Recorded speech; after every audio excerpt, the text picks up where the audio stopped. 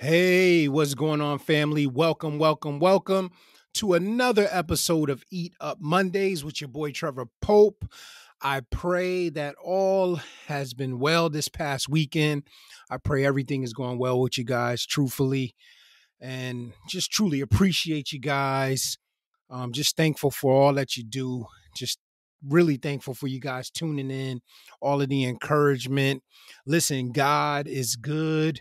We know that He is good all the time.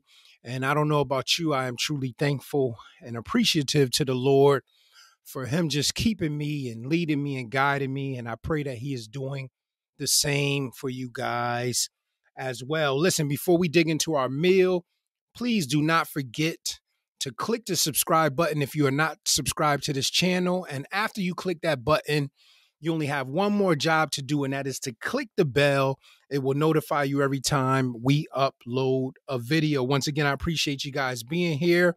And listen, the food is prepared. So without further ado, guys, let's dig in. Listen, this week we're going to be coming out of the book of Second Samuel um, and I'm going to give you a little background on 2 Samuel 11. And when you guys get a chance, go and read it for yourself. It's not a super long chapter. Um, I think it is definitely worth reading. Um, but I'm just going to give you a little background on the story and we're going to dig into our meal. Amen. Um, but 2 Samuel 11, uh, when you read it, you'll find that as the chapter starts off, it talks about at a time when kings would go out to battle, you know, King David it says that he sent Joab and his servants out to war, but he stayed behind. So if you notice when you read that chapter, it says this is normally when kings will go out go out to battle, but instead of David going out to battle, he sends Joab and his servants out to war and he stays behind. And the scripture says, and one night he's on his roof walking around talking about David, and in the distance he looks and he sees a beautiful young lady bathing named Bathsheba. Now, some of you may have heard this story, and many of you may have not. Um, but it says David asks, "Who is she?" And he find that he finds out that she's married to a guy named Uriah. But even though she's married to Uriah, David sends for her. He sleeps with her and sends her back home. Lo and behold, Bathsheba gets word to David that she is pregnant and so now David is like, listen, I have to do something to cover this thing up because this is something that I should not have done in the first place. So the Bible says David called Uriah from the war and tried to get him to go home and sleep with his wife to cover up the pregnancy.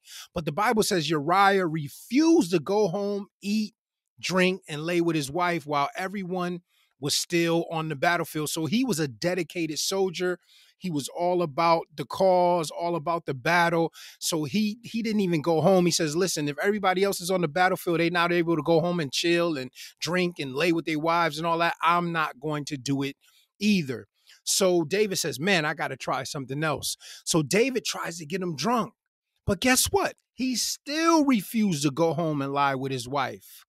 And this is just shows you the dedication of this guy Uriah.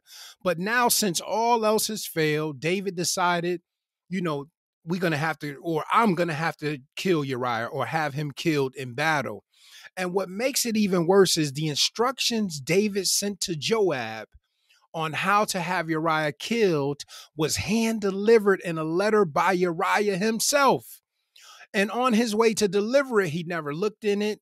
You know, to see what the Bible said. I mean, to see what the letter says, excuse me. And it goes to show us how dedicated and focused this guy was. He would have pretty much done anything that they had asked him because he was down for the cause. And that just goes to show us that, you know, when we put our hands on something or when we get involved in something, you know, we need to go all the way. This guy was 120% in on the cause. But it goes on to say that on his way, um, you know, to deliver it. He brings it to Joab. And just like David wanted, Uriah is killed. You know, Bathsheba hears about it. She mourns Uriah's death. And after her mourning passes, after she finishes mourning, the scripture says David brings Bathsheba to his house. He marries her and they have a son together. But then the scriptures also says something else. It says, The thing that David did, it displeased the Lord. So God was not happy with what David had done. And once again, when you get a chance, please go and read Second Samuel chapter 11. But I want to take it from uh, 2 Samuel chapter 12, and we're going to read quickly through these scriptures. And I'm just going to give you my thoughts and and we're and we're going to finish up this meal. But Second Samuel 12 and 1 says, And the Lord sent Nathan unto David and he came unto him and said unto him, There were two men in one city, the one rich and the other poor. The rich man had exceeding many flocks and herds, but the poor man had nothing save one little ewe lamb which he had brought and nourished up. And it grew up together with him and with his children. It did eat of his own meat and drank of his own cup, and lay in his bosom and was unto him as a daughter. And there came a traveler unto the rich man, and he spared to take of his own flock and of his own herd to dress for the warfaring or the wayfaring, excuse me, man that was come unto him. But took the poor man's lamb. Instead, he takes the poor man's lamb and dressed it for the man that was come to him. And David's anger was greatly kindled against that man. And he said to Nathan, As the Lord liveth, the man that have done this thing shall surely die. And he shall restore the lamb fourfold because he did this thing and because he had no pity. And what's so beautiful about the story that Nathan is telling him, the way the, the reason why it's touching David, you know, so, you know, so, you know, the reason why he's taking this so to the heart, so much to the heart, excuse me, is because we know that David, he tended sheep. So he has a love for animals. So he's taking this thing to the heart. He said, man, listen, this guy needs to die. And once again, verse 6, he says, And he shall restore the lamb fourfold because he did this thing and because he had no pity. And Nathan said to David, Don't miss this, guys, thou art the man. Thus saith the Lord God of Israel I anointed thee king over Israel, and I delivered thee out of the hand of Saul, and I gave thee thy master's house and thy master's wives into thy bosom, and gave thee the house of Israel and of Judah. And if that had been too little, listen to what God says to him. If that had been too little, this is how intentional I was on blessing you and, and, and taking care of you. If that had been too little, I would moreover have given unto thee such and such things. Wherefore hast thou despised the commandment of the Lord to do evil in his sight? Thou hast killed Uriah the Hittite with the sword, and hast taken his wife to be thy wife, and hast slain him with the sword of the children of Ammon. Now, therefore, the sword shall never depart from thine house because thou hast despised me. God took this as he has that he was despising him by doing what he has done. He says, Because thou hast despised me and hast taken the wife of Uriah the Hittite to be thy wife. Thus saith the Lord, Behold, I will raise up evil against thee out of thy own house, and I will take thy wives before thine eyes and give them unto thy neighbor, and he shall lie with thy wives in the sight of this sun. For thou didst it secretly, but I will do this thing before all Israel and before the sun. And that's very key there because we've talked about in the past chastisement and when God pulls the covers off of us, whether, you know, we're, we're pastors or leaders of a church or, you know, just uh, saved, you know, and maybe not in leadership of a church, but, you know, just saved and supposed to be living this life for Christ and and we get to a point where God is tired of talking to us and he just snatches the cover off. He says, "Listen, you did this secretly, but I am going to expose you openly." And that's what normally happens when we keep, you know, dealing with a secret sin and something that God keeps telling us, "Listen, you need to get that right." You know, you know what I mean? So he says, "Listen, I'm going to expose this, you know, before everybody. Everybody is going to see you know the uh the consequences of your actions. And david said unto nathan i have sinned against the lord. And nathan said unto david the lord also have put away thy sin thou shalt not die. So now david finally repents. Listen i have sinned against the lord.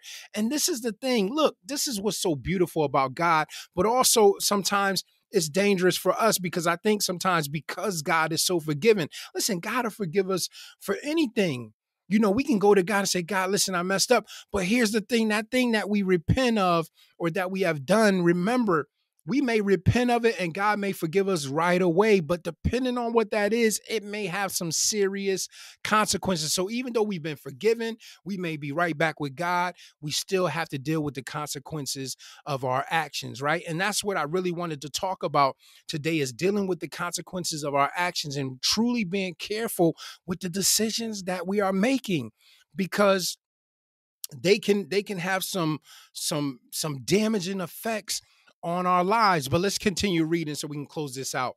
It says, And David said unto Nathan, I have sinned against the Lord. And Nathan said unto David, The Lord also have put away thy sin, thou shalt not shall not die. So we see the mercy of God, right?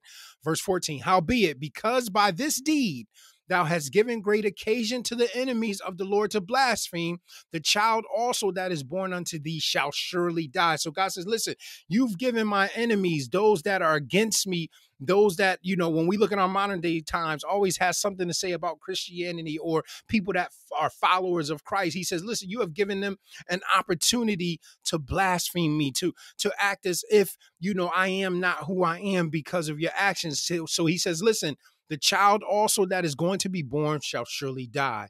And Nathan departed unto his house, and the Lord struck the child that Uriah's wife bare unto David, and it was very sick. David therefore besought God for the child, and David fasted and went in and lay all night upon the earth. And the elders of his house arose and went to him to raise him up from the earth, but he would not eat. Neither did he eat bread with them. And it came to pass on the seventh day that the child died, just like God said. And the servants of David feared to tell him that the child was dead. For they said, Behold, while the child was yet alive, we spake unto him, and he would not hearken unto our voice. How will he then vex himself if we tell him that the child is dead? But when David saw that his servants whispered, David perceived that the child was dead. Therefore, David said unto his servants, Is the child dead? And they said, He is dead. Then David arose from the earth and washed and anointed himself and changed his apparel and came into the house of the Lord and worshiped. Then he came to his own house, and when he required, they set bread before him, and he did eat. Then said his servants unto him, What thing is this that thou hast done? Thou didst fast and weep for the child while he was yet alive. But when the child was dead, thou didst rise and eat bread. And he said, While the child was yet alive, I fasted and wept. For I said, Who can tell whether God will be gracious to me that the child may live? But now he is dead. Wherefore should I fast? Can I bring him back again? I shall go to him, but he shall not return to me. And David comforted Bathsheba his wife and went in unto her and lay with her, and she bare a son, and he called his name Solomon and the Lord loved him. I don't want you to miss that. And he sent by the hand of Nathan the prophet, and he called his name Jedidiah because of the Lord. Now, when we look at this story, this this is super heavy because even after God told him what would be the consequences of his actions, we see so much of the grace of God still in the midst of this. Even though God struck his first child uh, with Bathsheba and the child died, look who she bore after the child the great and mighty Solomon, right? Which you know we see in the, at the end of his life, he didn't make all the great decisions, but we know that he was a very wise man and he did some great things in the Lord. But unfortunately, he could not, you know, stay away from from those women um, that were not of the house of Israel and and all of the idol worship and the things that he got involved in. Unfortunately, you know, it, it caused his demise. But I said all that to say, listen, God is a merciful God. He's a loving God. He's a forgiving God. But one thing we have to understand about God is that when we make certain decisions, there is going to always be consequences to our actions. Listen, you may have did something in the past where you felt like you didn't, you know, you didn't uh, receive a whole bunch of repercussions, and but that's not always going to be the case.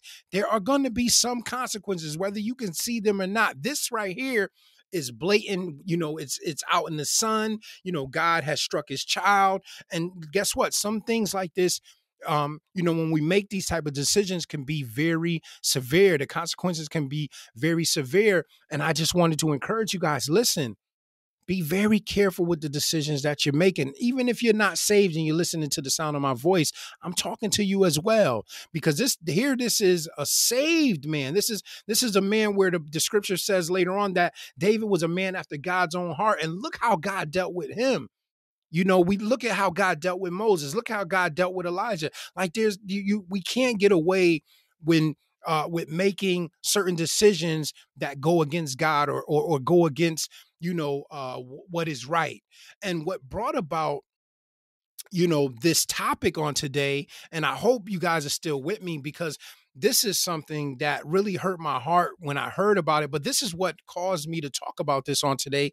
Um, and it's because a few days ago I saw a story, and some of you may have heard about this story. And, you know, we're not going to mention her name because it's not necessarily about her, or, but I, I did want to bring up what happened. You know, there was a young lady, she was 21 years old. Um, and the news said she was pulled over on the highway by two state troopers for driving over 100 miles per hour and for suspected DUI. So, you know, I guess the way she was driving, obviously she was driving fast, but she probably was swerving or whatever have you. So when they pulled over, they suspected that, listen, she's probably drunk as well, you know, and later on we would find out. You know, later on, they would find out that her blood alcohol was twice the legal limit. But while they have her pulled over, these two state troopers, they get a call that there's a pedestrian walking in the third lane about two miles down on the highway. So they decide, you know what, we need to go get this guy. You know, we need to get him off of this highway, you know, before he gets killed. You know, so they leave her, you know, and they go to take care of the situation, you know, just probably figuring, listen, this is a priority. If this guy's in the third lane, then obviously he's not too far away from getting hit, especially if it's a part of the highway that's not, you know, lit up that great. And even when it is lit up, you know, people be flying on the highway, especially like I 95 and all these types of highways. But anyway, you know, the cops leave her, you know, and they go to take care of this man.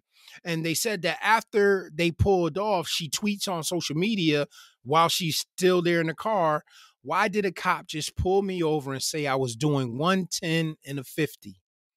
And after that, the young lady takes off from where she is pulled over from.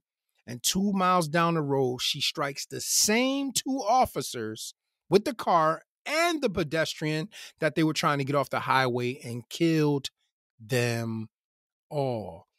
And when I saw them bringing her out of the trooper station, and I just saw the sheer fear on her face, and you know, obviously, if you've ever you know been drinking or gotten high you know whether you had like a, a true drinking problem or not but let's say you you you was drinking or you were high or maybe not even drinking or high but just made a silly decision and now you're back in your right mind and processing everything you could just see the fear on her face and and just probably everything running through her mind you know about the decision that she made that that pretty much has changed her life and is going to change the rest of her life. There's no way around this. And I felt sorry for her, not sorry for the consequences that she's going to face, but that she made this decision you know, when she didn't have to, you know, because wherever she was drinking at, she could have called the Uber. She could have found some type of way to to go from point A to point B. But this this was something that she did all the time, unfortunately. And look, I grew up with people that you know, had drinking problems and got high. I mean, I used to drink and get high. I didn't really have a drinking problem, but I knew people that had a drinking problem where you could smell it through their skin, coming through their pores, all of that. They drunk every single day. And it's sad and unfortunate. But guess what? A lot of them didn't drink and just jump behind the wheel. So once again, this young lady made a bad decision. Now she has to deal with the consequences of her actions. She has changed her family's life. She's changed the two state troopers' families' lives and the guy that was walking on the highway. And I just said all that to say, guys, we have to be very careful whether you're out there you're listening to me, whether you're saved or not. You know, think twice of the decisions that you are making. When they started reading some of the tweets that this young lady tweeted out on social media, I'm drunk. um, today. I'm super drunk. Um, I can't wait to get drunk. Um, this this liquor doesn't get me drunk anymore. So obviously she had a drinking problem, and this is what she does. And I think they said one time she even tweeted out she's the best you know uh, drunk driver there is you know that uh, uh, best person there is that that can drive drunk and we know that that just sounds crazy so unfortunately this 21 year old lady life is going to be changed forever. I, I pray for the state troopers, you know, the the, the uh, families, the guy that was struck family and her family, and for her. But there's no way around these consequences. She's definitely, you know, unfortunately, you know, uh, gonna have to spend the rest of her life in jail for a decision that she made, and you know, rightfully so. You know, because listen, it only takes a second, guys. And I know I've been lingering on this for a minute, but I'm telling you, man, I mean, I've seen it in my own life. It only takes one bad decision, one moment of anger, one, you know, it it doesn't take much at all, guys, for you know, your life to just change dramatically. So I just wanted to encourage you guys, listen, think before you do because you just never know where the decision that you're about to make is going to take you for the rest of your life. But listen, know that I love you guys. Um, I know we sat at the table for a while and, and and ate for a while, but I just wanted to really encourage you guys that there are consequences to our actions, and if we're not careful, you know, those actions could lead us to to death physically, death spiritually, somebody else's death physically, somebody else's death spiritually, and you know that's something that we don't want. But listen, once again, know that I love you guys. And until the next time we share a beautiful spiritual meal together, shalom.